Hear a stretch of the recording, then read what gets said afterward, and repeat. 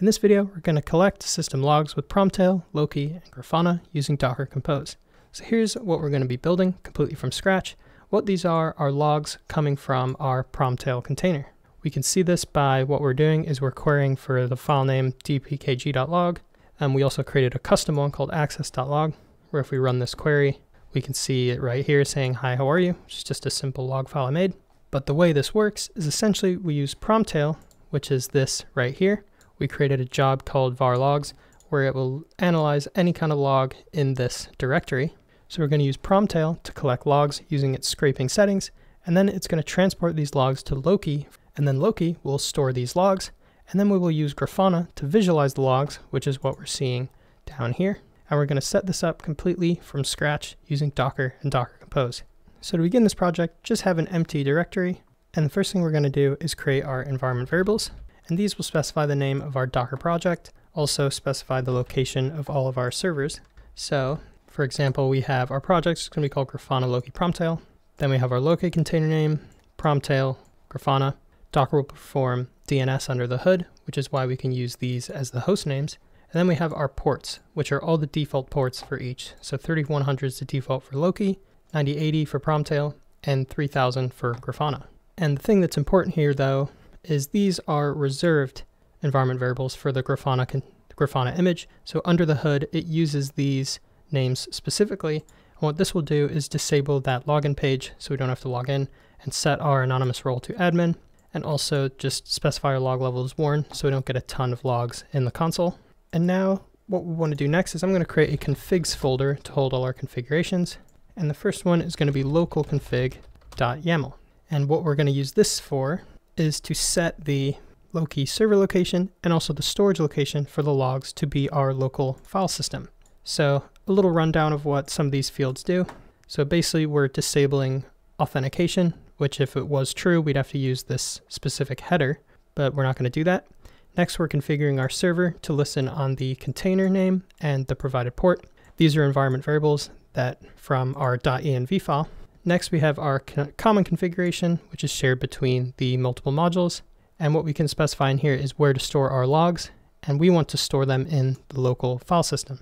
So you can use S3, GCS, but we're using our local file system.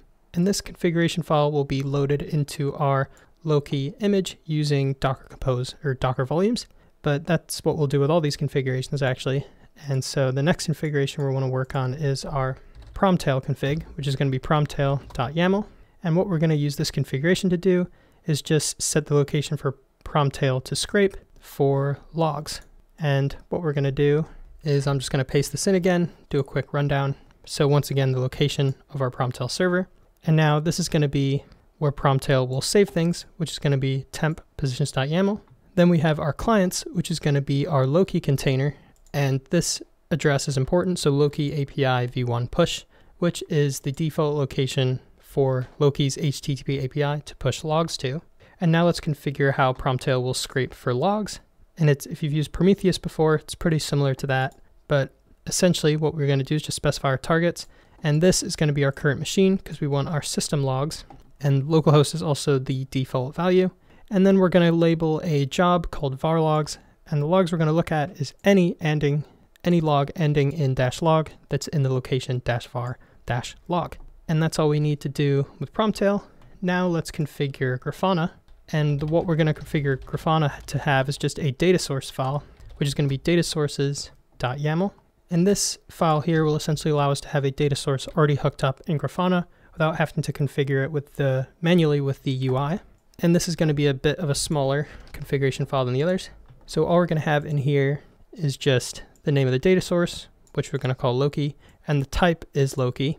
And the URL for the data source is going to be the Loki container name and then the port.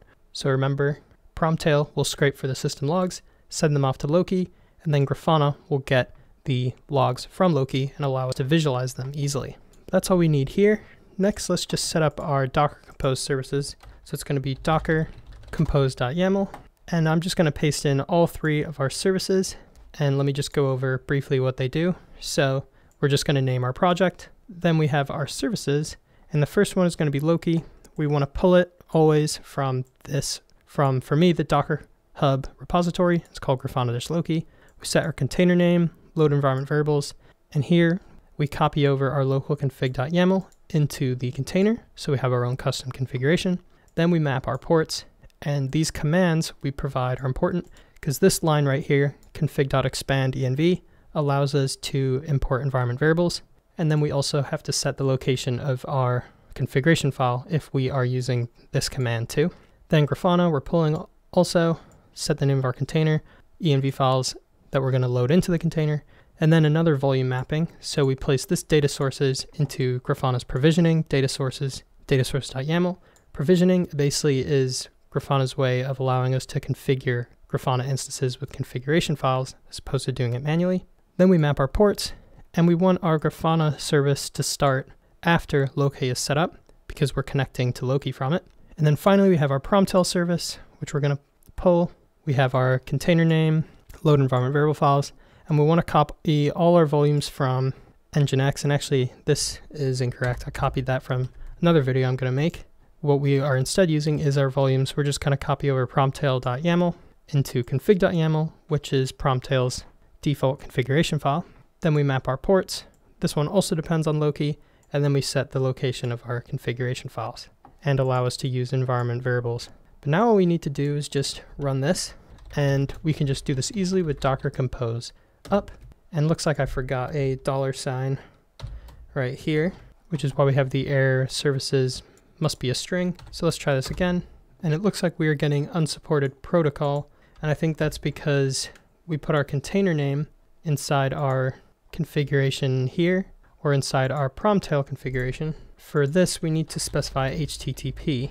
So if I do that, now let me try and spin this up again. And now we're getting another error. So data sources.yaml is a directory. So we must have gotten our mapping, our volume mapping wrong would be my guess. So if we go over to Grafana and look at data configs dash data sources.yaml, we did YML instead of YAML. So that's why it created a directory instead. So let's close this down. And now third time's a charm. Cool, it doesn't look like anything is complaining now. So the first thing we need to, I want to do is navigate to our data sources to see our Loki data source. So that'll be localhost 3000 connections and data sources. And here we are right here, Loki. And if we double check the connection is working by let's test it, and we're successfully connected, sweet. So Grafana is set up correctly. Um, next thing I want to check is, let's check Promtail to see that our targets were set up correctly. So if we go to localhost 9080 and targets, we can see our job of var logs right here. Call, we called it system. And these are the logs in this location. So we can see we have no data in fail log or last log, but we do in dpkg.log. So we could look at that information inside Grafana. But to better demonstrate what's going on, I actually want to show you, I want to create our own log file, and then we can query that. So what we're going to do is docker, we're going to navigate into our Promtail container. And what I want to do is just echo a simple string into the var log directory, and we're going to call it access log. And now if we check our Promtail targets, if we refresh the page, notice our access.log is now here and it has 15 position. So now if we navigate over to Loki and let's do explore. And what I want to do is let's get a file name where it equals access.log. And if we run this, here's our log printed down here. So it says, hi, how are you? And of course, if the other one we have is our dpkg.log, which if we run this, and we can see also all the other logs. So these are all system logs being scraped by Promtail, given to Loki, and then Grafana, we can visualize them all. If you like content like this, check out my courses linked in the description. Also my Chrome extension called WittCepter. You'll probably find it pretty useful. I want to thank you for liking and subscribing. If you have any questions, leave them in the comments. Besides that, take it easy.